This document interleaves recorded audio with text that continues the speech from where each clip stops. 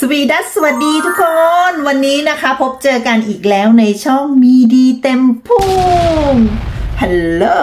Hello everyone Welcome to my channel มีดีเต็มพุ่ง ช่องนี้ค่ะ ช่องกินนะคะ ดังนั้นวันนี้เราจะต้องมา ไม่กินเลยวันนี้เราจะมาทำ กับข้าวนะคะวันนี้เราไม่กินเราจะมาทำนะคะ วันนี้เราจะทำสปริงโรลทำปอเปี๊ยะทอดกันค่ะวันนี้ yes. นะคะจะไปเเยี่ยม เด็กๆนะคะเยี่ยมลูกชายนะคะครอบครัวของลูกชายคุณสาเขาเนาะแล้วก็มีเสียงเรียกร้องมาว่าอยากจะกินสปริงโรลนะคะอยากจะกินปอเปี๊ยะทอดนะคะ วันนี้ก็จะทำไปฝากเขาเนาะทำไปกินด้วยกันแหละ แต่ไปกินที่บ้านเขาทำที่บ้านเรา แต่ไปกินที่บ้านเขามาเรามาทำกันเลยจ้ะ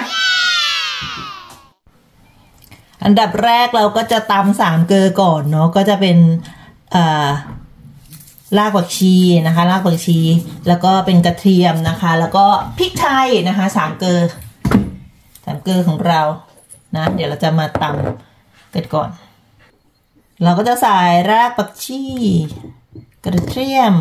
นะคะแล้วก็จะใส่เป็นพริกไทยนะคะเยอะหน่อยพริกไทยก็ป่นอยู่แล้ว ไม่ต้องเยอะเท่าไหร่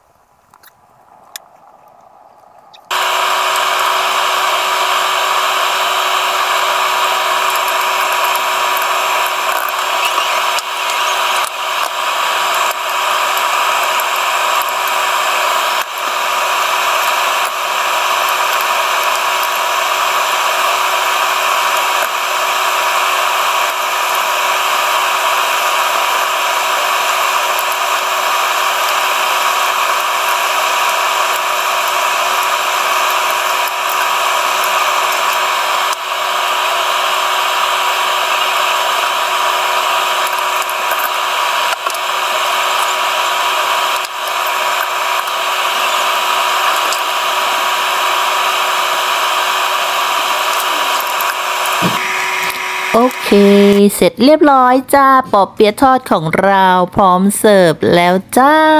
มามากินด้วยกันค่ะเพื่อนๆ คลิปนี้ขอตัวลาไปก่อนพบเจอกันใหม่คลิปหน้าบายบายจ้า